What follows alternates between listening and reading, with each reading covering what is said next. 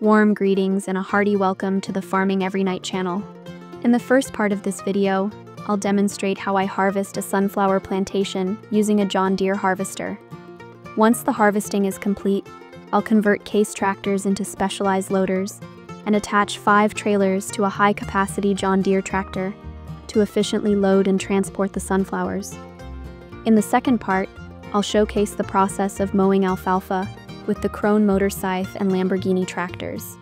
After gathering the alfalfa, using Fendt tractors will transport it to the farm, where telehandlers will be ready to reload the harvest for storage or further processing, ensuring a smooth and efficient workflow throughout.